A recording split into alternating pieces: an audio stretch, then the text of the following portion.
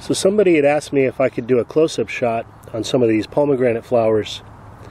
I think that's a great idea. It's a truly beautiful flower.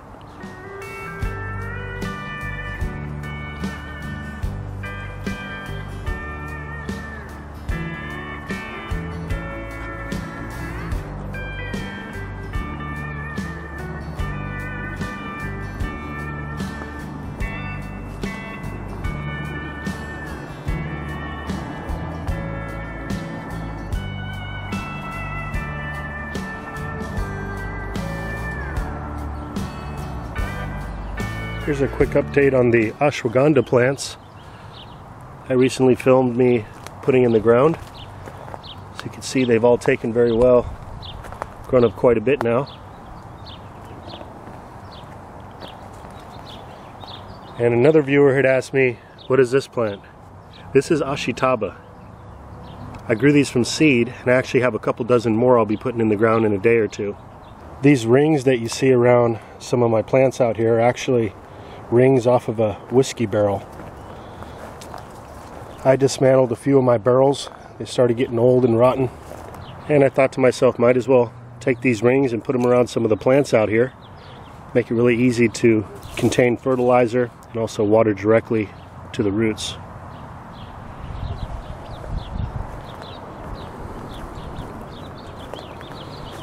Tomatoes starting to grow up. I've got about 20 or so tomato plants scattered all throughout the design.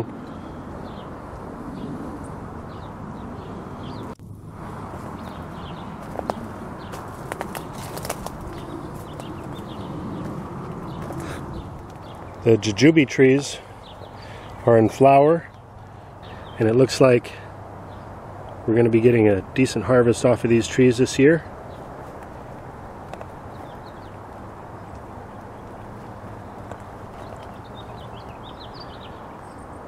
If everything works out well, I will do a follow-up video explaining more in detail uh, the pruning process behind these trees.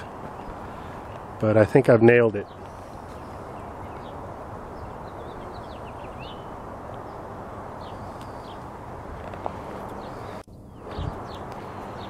Here's another one over here.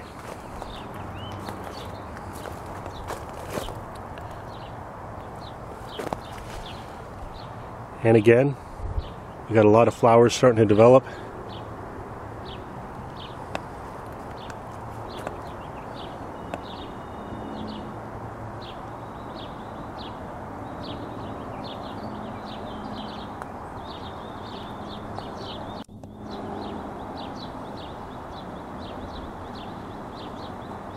And this tree is about almost nine feet tall now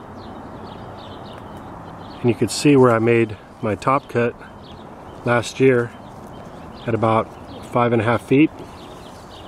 So all of this is new growth. Man you hear those birds tonight? How beautiful is that? I could sit out here and listen to that for hours just relaxing meditating.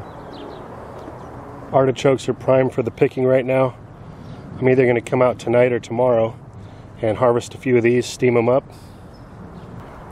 And check out the flowers on Cardoon.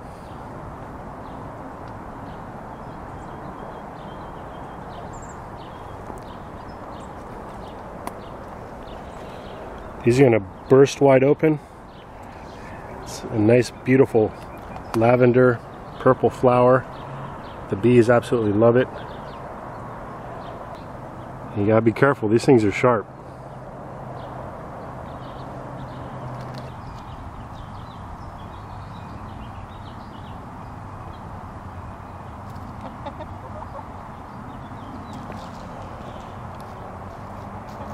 So I came across this amazing bonus find on this Hugelkultur mound today.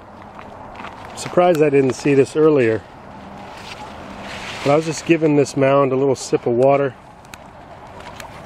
And down in the middle of the mound here, check it out. I think I'll harvest a few of these and maybe some mushrooms for breakfast tomorrow morning. So here's an interesting little patch of greens. There's one, two, three, four different plants over here. And these were all grown from seed collected from one of my Merritt Collard plants. And you can see they all have slightly different characteristics. This one is growing up really tall, almost looking like a tree collard. This one is shorter and has more rigid curly kale type leaves and is staying shorter to the ground. This one has skinnier leaves and almost looks like a combo of dino kale and Merritt collard.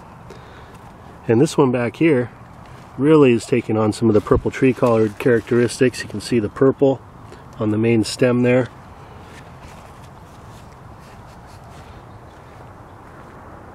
But they all taste delicious. I've been using the leaves in my smoothies, making salads.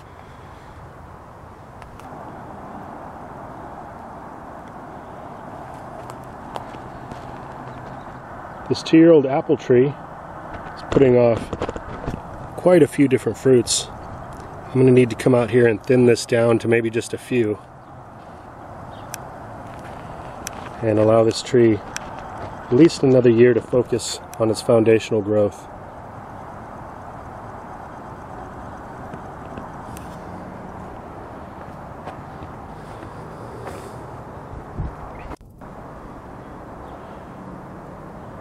Man, I can't wait for these plum cots to start ripening up.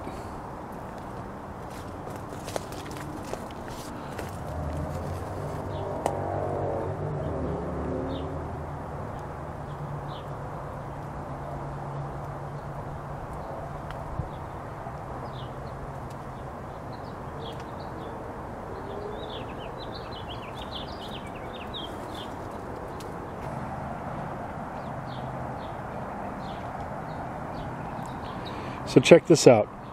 If you've been following along, you may have watched a video that I had made. It was a little Kung Fu inspired skit called Grow Some Food.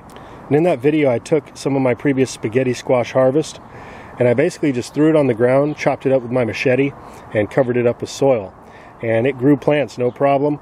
And this right here is actually an extension of that. This two volunteer spaghetti squash plants, all resulting from that same planting.